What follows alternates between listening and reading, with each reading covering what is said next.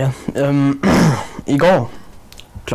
12 om aftenen var jeg øh, på vej til fest hos nogle venner. Og øh, så kom der nogle, nogle mænd, og øh, så skubbede de mig ned på jorden.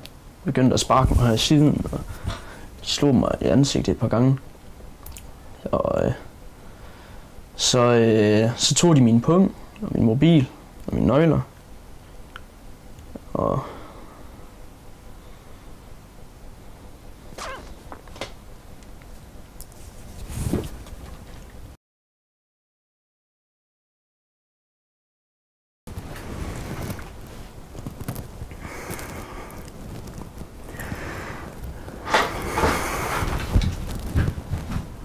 Mark, er hjemme?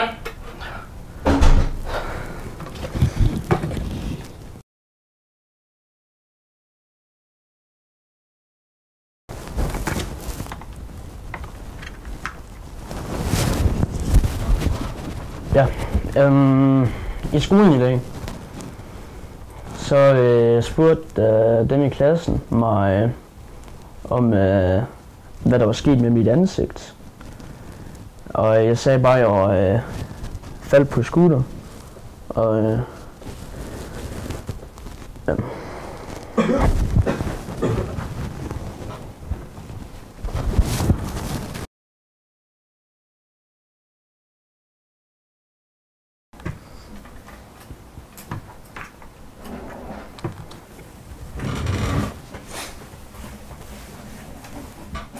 Ja, jeg, øh, jeg er begyndt at cutte i mig selv. Ja, det er den eneste smerte, jeg, jeg kan håndtere.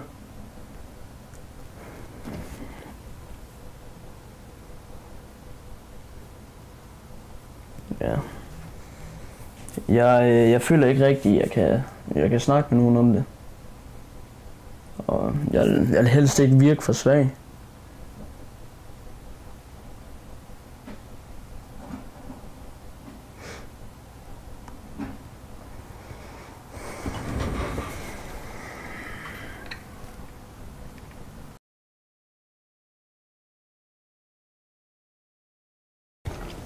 Hum.